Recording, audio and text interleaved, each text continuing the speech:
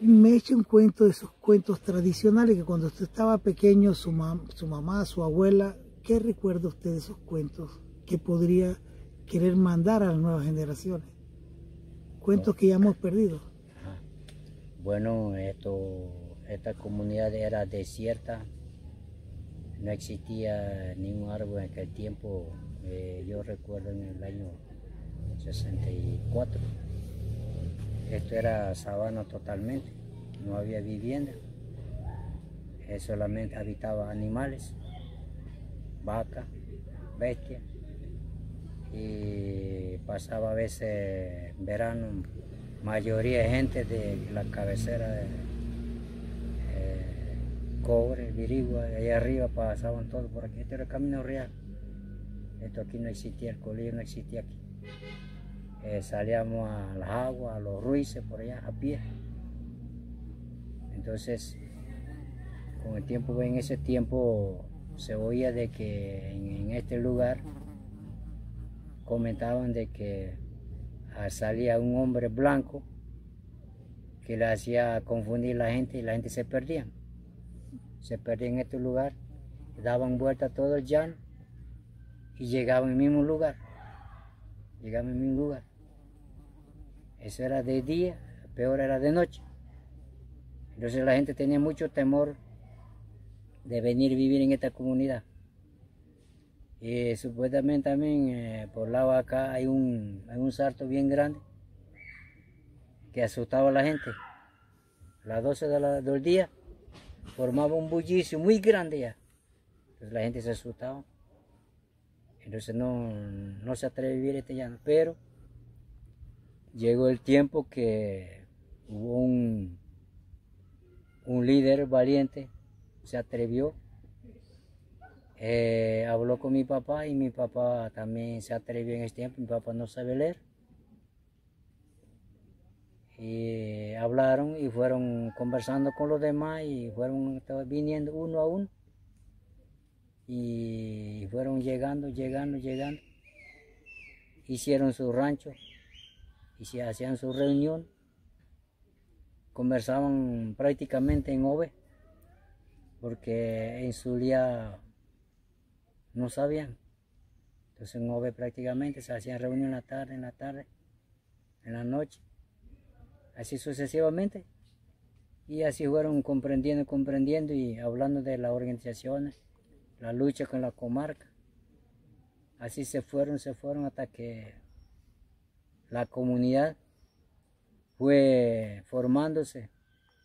Entonces llega también el, sacerdote en ese tiempo. Tuvo que bautizar este llano y como que el espanto ese se, como que se calmó. Se calmó, fueron la gente bautizándose. Y en ese tiempo había, existía mucho brujería también, que los niños no pegaban en ese tiempo. Había poca gente, había como siete familias, era mucho. Entonces, ahí en ese momento se fueron creciendo, aumentando, porque a través del bautismo creían en la, ley de Dios. Entonces, como que se fueron creciendo las familias, se fue creciendo. Y entonces, fueron algunos eh, educándose formando su hogar en ambas partes de esta comunidad, como la que se, ve el día de hoy, se ve repartido cada uno. En el principio no era así, no era así. Era un lugar deshabitado con, con ese cuento de que se perdía mucha gente. Pero una cosa, esos espíritus, esa cosa, ¿cómo lo llamaban en lengua originaria? Entonces, esa lengua le decían, este espíritu, le decían chogali. Chogali. Ah, chogali decían, eh, porque eh, chogali es un espíritu que eh, hipnotiza a la persona y lo hace girar. Entonces la persona piensa que camina bien y está caminando mal. Entonces ellos empiezan así, pues como que si tuviera eh, en perfectas condiciones, pero anda dormido. Ese es Chogali. Es Chogali. ¿Existe otra? Eh, existía otra que le decían eh, la tulivieja también. ¿Por la tulivieja se decía? ¿Cómo le decían? Ese, ese tulivieja que le decían bubé. Bubé. Bubé. Bubé. Bubecri, Ah, el querido compañero Bubecri. Eso existían, entonces la gente que sabían de bube sacaban esa bulla, pero no sabíamos qué era. Pero se fue ¿Usted nunca se encontró con el Bobo Cris? No, nunca, nunca me encontré. ¿Su, su mamá, su papá? No, mi papá tampoco, aunque querían llevarme a practicar eso, pero mi papá no permitió. Porque él, él no estaba de acuerdo con eso. Se ¿Y- maltrataba, muy, maltrataba mucho los muchachos. ¿Y quién era que quería llevar? Que había personas. Eh, había familia por allá, por la cordillera, que practicaba eso también. Entonces querían ¿Qué, qué llevar practicaban? eh, la, la, turbia, la turbia esa. Entonces mi papá, mi papá dijo que no. ¿Y cómo, cómo funcionaba eso? Bueno, cuando yo fui, oí eso, se oía diferentes ruidos así, de noche así, otros lloraban como niños, otros así como, hacía una bulla diferente así, otros otros así como, hacía ruido como silbato de, de carrizo así, pero eso lo hacían allá abajo, en un sarto bien grande fuego allá abajo, allá llevaban la comida, llevaban toda clase, ellos hasta mataban puercos, mataban gallinas, mataban vacas, ¿ves? Para, solamente para los que estaban allá. Pobres señoras cocinaban para ellos. Entonces ellos se dedicaban a eso para que dice que los muchachos que se llevaban allá pues, practicaran lo que era la artesanía, el sombrero, eh, diferentes cosas que practicaban, hacían pues.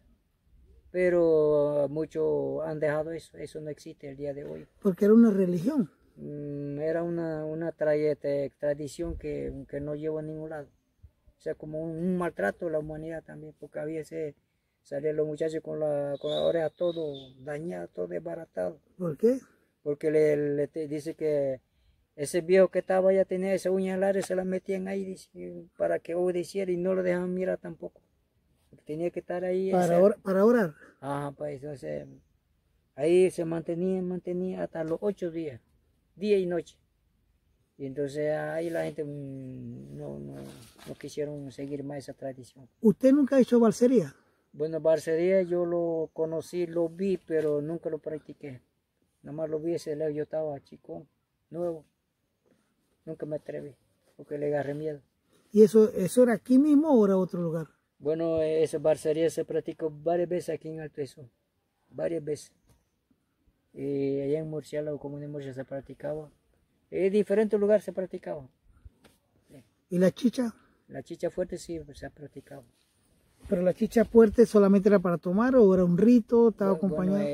era para tomar y cuando se, se fermentaba mucho la gente perdía el sentido o se, de ebrio, se ponían ebrio, empezaban a tirar puño, a pedir, bueno, a, para tener coraje para tirar barza también, porque eso es una madera, pega duro, pega duro, entonces algunos llegaban eh, cojeándose por la casa, algunos le formaban una potemilla, entonces no podían caminar, hasta perdían su trabajo no podían trabajar porque eso les duraba meses. Porque yo conocí a mi papá cuando tiró Barça allá en, el Piro, ese tiempo en el 67, se allá. Mi papá se le hinchó todo esto, desde este, desde este se le reventó aquí. Entonces ya esa mi papá ya no quiso jugar más Barça. Pero jugaba bien tu papá. Ah, él jugaba Barça. Era un campeón. Mi papá jugaba. Y venía de aquí. Eh, eh, vivíamos por allá atrás. Él iba allá, iba allá, iba. Pero él nunca no nos practicó eso. Sí. Él no practicó eso. Él después dijo de que, bueno, después todo ya la organización que él se metió jefe inmediato.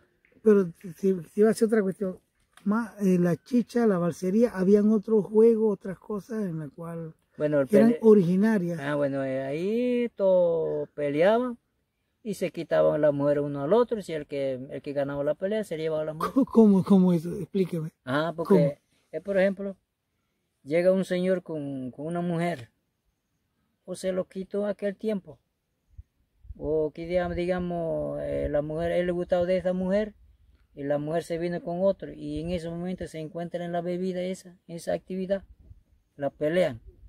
Entonces pelean entre ellos, si él, lo- él la gana, entonces ya se le quita la mujer al otro, se lo lleva. ¿Y los hijos? Si no tiene hijos, bueno, se lo llevan. Y si tiene hijos, bueno, también se lo llevan. Así, y usted ha visto que sucedía antes, cuando Sí. estaba chiquito. Eso, eso sucede antes y a la fuerza se llevaban a la mujer también. Hay mujeres que no quieren ir, pero a la fuerza la llevan. Ah, se la llevaban. Se la llevan. Y era como, era como una danza ceremonial. Ajá. ¿Qué música hacían?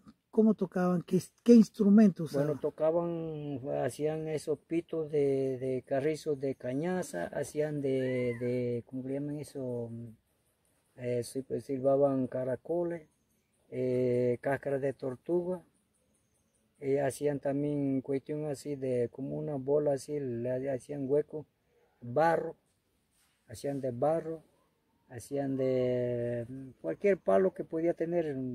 Hacían compito, eran. Ah, compito, sí. ¿Y qué más usaban como percusión? Decía, usaban también este, le ponían eh, eh, miel de abeja, de eso miel de abeja, sacan la cera, le ponían ahí, abrían hueco para buscarle la forma, cómo sonaba entonces. Cuando sonaba clarito, ese era el indicado. Y así hacía en el tiempo. ¿Qué música era, más o menos? Eh, esa era una música casi dando a entender así como, como, como te digo yo, algunos como corneta así, y como clarina, algo así. Pero no tenía tambores. No, no, no, no. No, No, usaban tambores. no. Maraca, Mm, eh, usaban maraca, sí. Maraca sí usaban. maraca. Bachichería, le hacían baile chichería, para bailes ellas sí usaban también.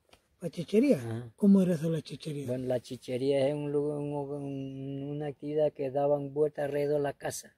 Bailaban todos unidos, todos con su, eh, con su maraca hacia alrededor de chichería, porque chichería lo hacían cuando, por ejemplo, le caía un trueno en una casa. Decían ellos, tenían ese, ese costumbre de que si le caía una casa, no se hacía esa actividad, el trueno no se iban, dicen ellos, los rayos no se iban. Pero esa era una tradición. Sí. Sí, entonces, a los ocho días ellos hacían esta chichería. Después Practicaban casi tres días, cuatro días así. Esa chichería. Bailaban toda la noche, todo el día, hasta que terminaban. Pero segundo día aparece ahí dice que hacía el trueno donde se iban. Parece como una tradición de ellos. Y eso hacían antes chichería. Yo muy poco también practico. Pero usted, eh, aparte aquí, cerca, ¿ha oído eh, mamatata? Los mamatatas. Bueno, ¿Qué sabe mamá, usted? mamá tata, eh, yo lo oí desde pequeño, pero nosotros no lo aceptamos.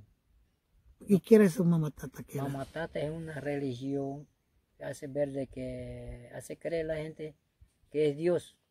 Pero mamá tata significa tata es papá, mamá es madre.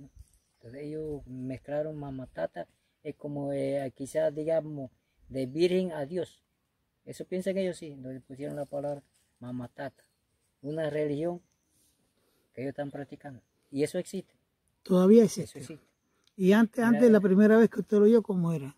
Bueno, eso de, de cuando llegó, nosotros muy poco participamos, así que yo al fondo no, no, no, no pude explicar porque no, no tuvimos, no participamos ni una vez. Pero había gente ahí que participaba. Eh, ha- había familias así que iban, venían y cuando veían, venía así, formaban un problema entre ellos, peleaban entre las mujeres así. Entonces no era ni una gracia, pues viendo todo eso, no, era como obra satánica, así. Pero hacía ver de que era hablar con Dios. Entonces nosotros no participamos en eso. ¿Y usted de qué religión es? Bueno, ahorita mismo yo soy de la, de- del Evangelio, yo soy evangelio, evangelista. Tengo mi, mis 30 años para el Evangelio. Yo lo acepté como un salvador personal porque yo estuve enfermo de un hechicero. Y me hechicero porque, bueno, como le dije en principio, la gente quita a la mujer a uno a otro. Yo no le quité mujer, no, sino que el problema fue que la mujer se vino conmigo y el, el otro no le gustó y entonces me hizo brujería. Entonces ni el curandero me curó, ni el doctor tampoco me curó. Yo tuve dos años y medio en cama. Mi mamá me cargaba la mano. Del hospital salí y regresé a casa. Yo dije, doctor, voy a morir en casa mejor porque aquí muero aquí en el hospital cuesta mucha plata. Y cuando me trajeron para casa, no tomé más, más pastillas, mi mamá y mi papá se arrepintió, se arrodilló, oraron por él, después oraron por mí. Y yo pedí perdón a Dios. Seguí perdón, perdón, pedí perdón a Dios, perdón, perdón a Dios. Yo seguía ayunando, yo ayunaba de, primero empecé un ayuno de 1 a 12, después fue de 6 a 6, así me fui, me fui recuperando, recuperando, recuperando. Y gracias a Dios estoy aquí hoy. Y esto me lo hizo el, el médico porque yo no comía, me alimentaba por dentro. Pues venocrisis nada más. Yo no comía. Entonces esta cicatriz yo tengo eso. Entonces cuando vine aquí en el Evangelio, me compuse, tengo mis 30 años en el Evangelio. Estos, eh, eh, te dice que habían un hechicero, así que había gente que era hechicera. No, hay, hay. ¿Todavía hay? Existe, existe, hay todavía. Aquí cerca, por aquí. Bueno, por aquí ya no se habla mucho, pero en otros lugares sí se habla, sí se practica. Ajá. Sí, entonces, bueno, gracias a Dios yo estoy aquí. 30 años llevo, tengo mis 12 familias, soy casado por civil y por la iglesia y todo. Ujú. Yo dije, adiós mundo, guarapo, chicha fuerte, tabaco, baile, a veces palabra torpe. Ese es término para mí. Ahora, nomás vengo por aquí a hacer mi trabajito, acompañar a los estudiantes, vengo a conversar con los profesores, vengo a hacer otra cosita que pues hay culto, no buscamos culto, y eso es todo lo que hacemos nosotros, oramos a Dios, pedimos perdón a Dios. Eso es nuestro trabajo diario, esa es nuestra faena. Y es la religión mía, yo soy evangelista. Y, y producto de eso, tengo siete hijas mujeres, tengo tres hijos varones, y algunos todavía están estudiando, algunos están trabajando. ¿Usted estudió? Bueno, yo tuve hasta sexto grado nada más. Me gradué de sexto grado en el 71. En ese tiempo no existía colegio como esto en ningún lado. Aquí no existía esta escuela. No existía. Yo me eduqué en eh, escuela en el Prado, en aquel tiempo escuela era de Quincha, en el Prado. Sí, Antes, eh, cuando estaba joven, había problemas hacia la población indígena. sí existía. Porque la población indígena, todo el pueblo indígena era maltratado por los ricos, por los terratenientes. Y entonces a esa causa, pues, como dije al principio, hubo un señor que tuvo coraje y hacer este, convivir la persona y por eso es que rescatamos esto. Por eso es que estamos aquí en esta comunidad. ¿Y quién fue ese señor? El señor se llama Camilo Ortega y mi papá Anito Carpintero empezaron a trabajar. eh, Mi papá empezó de comisario, después lo pusieron de vocero, jefe inmediato. Bueno, él después estuvo muy enfermo, él falleció y quedamos nada más la familia. ¿Quién era Lorenzo? Que siempre... Bueno, Lorenzo era, era un señor cacique que es de, era de Chiriquí en aquel tiempo. Ese era de allá. Su nombre completo era Lorenzo. que Lorenzo Rodríguez le llamaba. Sí, él era cacique de Chiriquí. Mónico Cruz era cacique de Boca del Toro. Y Camilo Ortega cacique aquí en Veragua. Entonces, y hasta el día de hoy, pues cacique Camilo existe, está, está vivo el Señor todavía. Y gracias a Dios. Y siempre tiene su historia por ahí para, para seguir contando a los jóvenes hacia adelante. Así que usted cree que siempre ha habido un problema, anteriormente sí había problema de racismo, Sí, había bastante. ¿Sí? Había bastante, bastante. cuando venían a buscar la, los, los- la gente acá para que trabajara en el ingenio La Ah. Santa Rosa. Ajá. Íbamos a cortar caña. ¿Usted ha ido? Yo fui para mucho tiempo. Mucho tiempo corté caña. ¿Y cómo pagaban? Bueno, ese caña, caña cruda pagaban a 4 dólares, caña quemada. ¿Cuatro cuatro- dólares qué cosa? Tonelada. Usted tenía que cortar Ajá. una tonelada Por para que- 4 dólares. ¿Y cómo, cómo, la, cómo la pesaban? Bueno, eso se cortaba la caña, nosotros formábamos una cuadrilla de 8 o de 10 para cortar caña un día. Entonces cuando eh, eran las 4 o las 3 parábamos de cortar la caña. Había que esperar el camión. Entonces el camión venía, había que llenarlo. Llenarlo sea de día, sea de noche, a la hora que sea. Llegaba ese camión, buscar la caña. Entonces había que subir esa caña todo hasta allá arriba. El camión lo llevaba al ingenio. Entonces el ingenio, entonces allá lo pesaban. Ellos solamente no traían el recibo. Pesó 10 toneladas.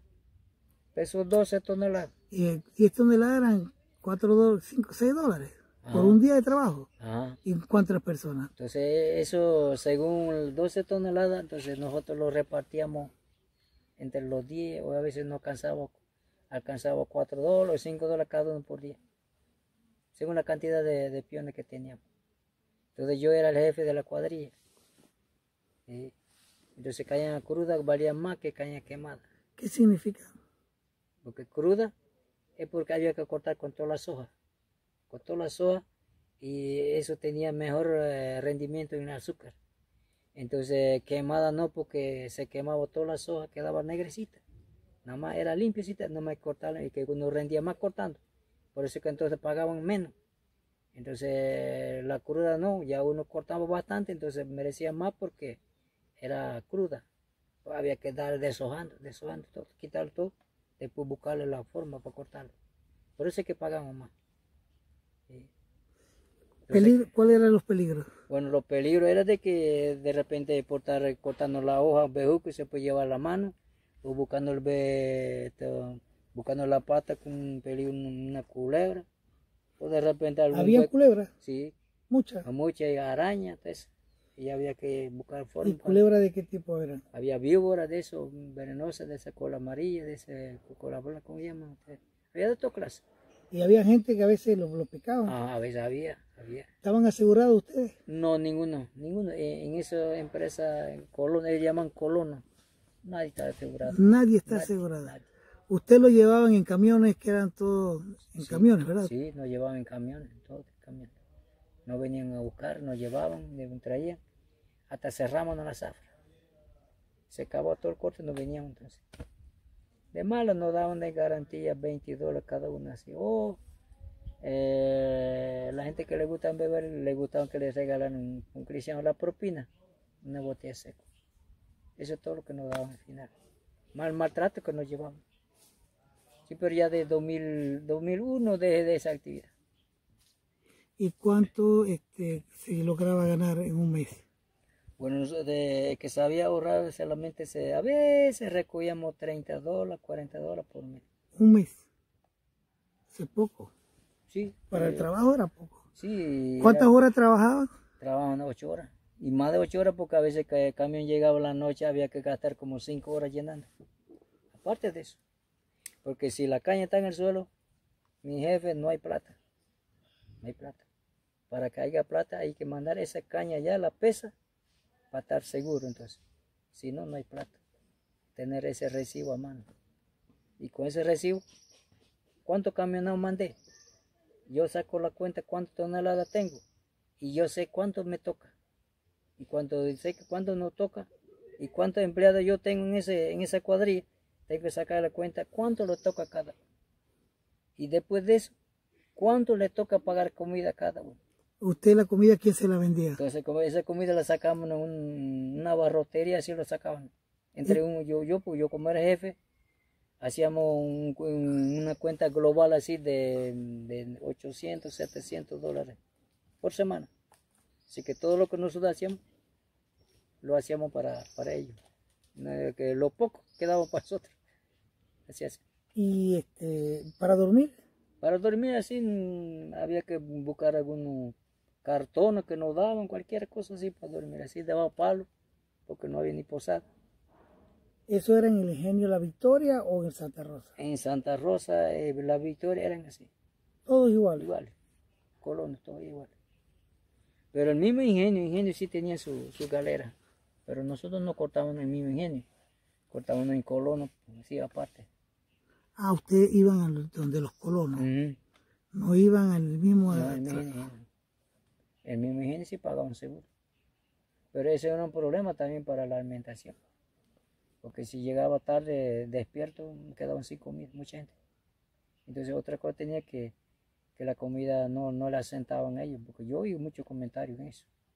Se enfermaban, una diarrea, vómito, porque a veces la comida muy fría, mucho aceite. La gente no, tenía, no estaba acostumbrada a eso. Así que más nosotros teníamos nuestra co- comida calientita y nosotros mismos cocinamos, así que estábamos tranquilos. Mm. Nuestra señora y todo llevamos. Ok.